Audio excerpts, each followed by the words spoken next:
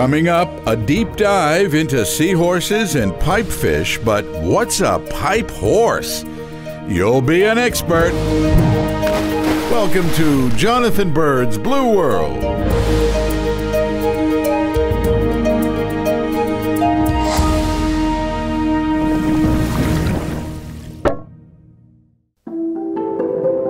The seahorse. It's one of the most mysterious animals in the ocean.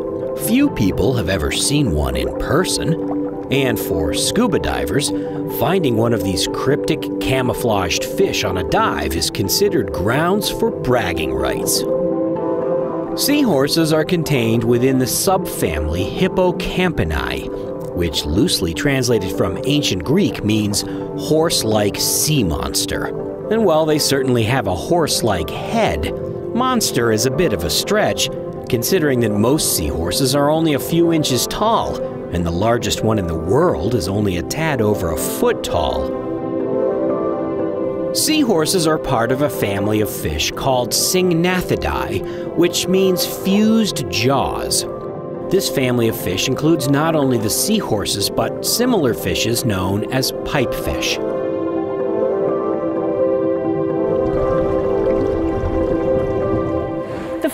Jaw means that seahorses and pipefish can't open their mouths very wide.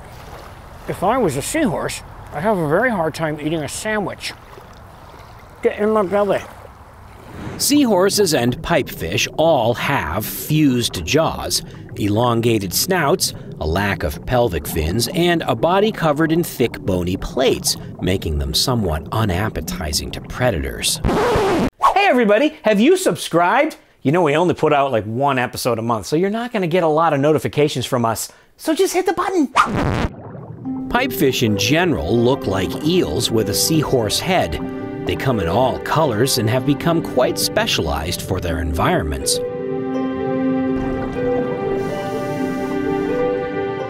For example, the robust ghost pipefish has evolved to mimic seagrass. It floats within the seagrass undetected until it can grab some prey, like a tiny shrimp or copepod. The ornate ghost pipefish has frilly projections that make it look a little like a feather star. It can camouflage easily among feather stars while waiting for prey. There's even a remarkable pipefish that looks exactly like Halimeda algae. While pipefish tend to be swimmers, seahorses have mostly become adept at not swimming. They have a prehensile tail for hanging on to things and staying very still to avoid detection. Some seahorses have taken camouflage to a very high degree of sophistication. The pygmy seahorse, only a centimeter tall, looks just like the sea fan in which it lives.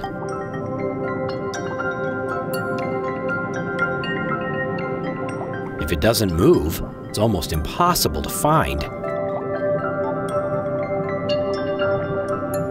A large sea fan may host a dozen or more of these tiny inhabitants, but predators swim right by and never know they're there.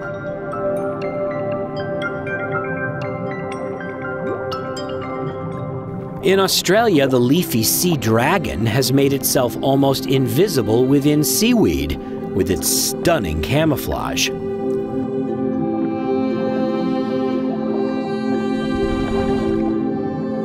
And while this fish definitely looks like a seahorse, sea dragons are actually more closely related to pipefish.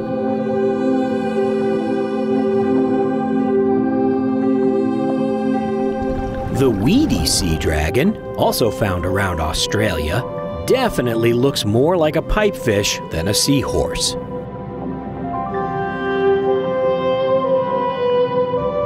And another member of the family which defies easy classification, the pygmy pipe horse, which looks like a cross between a seahorse and a pipefish.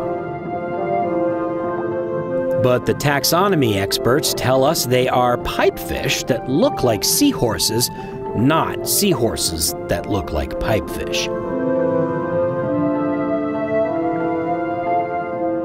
All seahorses and pipefish share one reproductive trait. The males care for the eggs. Most fish just release their eggs into the water and leave their fate to chance. But seahorses and pipefish protect their eggs until they hatch, giving their babies a little better chance to survive. Because the female expends a lot of energy making the eggs, it's only fair that the male spends his energy protecting them. Some pipefish males carry their eggs around on their body until they hatch. But other pipefish and the seahorses actually have a little pouch, like a kangaroo, where the eggs stay safe until they hatch. And when they start hatching, it must tickle, because the proud father immediately pushes them out into the world. At this point, the babies are on their own. No parental care or college tuition. Because seahorses and pipefish can't open their mouths very wide, they feed in a special manner called pivot feeding, where the seahorse snaps its head quickly, forming a small vacuum in the mouth which sucks in the prey.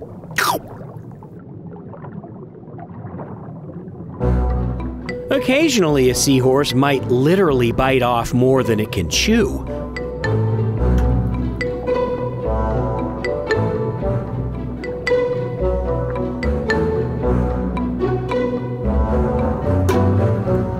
sometimes the food fights back.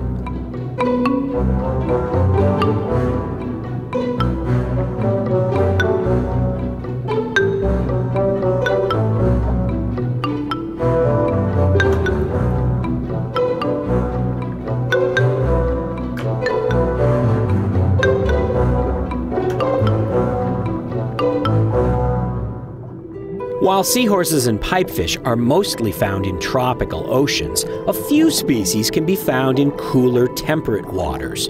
For example, the northern pipefish, found in the North Atlantic as far north as Newfoundland, Canada.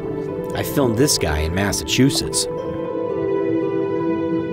Pipefish go back further in the fossil records than seahorses, and most taxonomists believe that seahorses are the newest members of the family, basically highly adapted pipefish.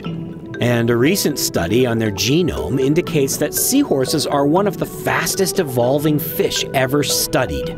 So who knows, maybe in a few hundred years they will be sea monsters. That would certainly make diving even more fun. In the meantime, seahorses and pipefish are among the most magical and wondrous fish in the sea. and Certainly one of my favorite things to see on any dive in the blue world.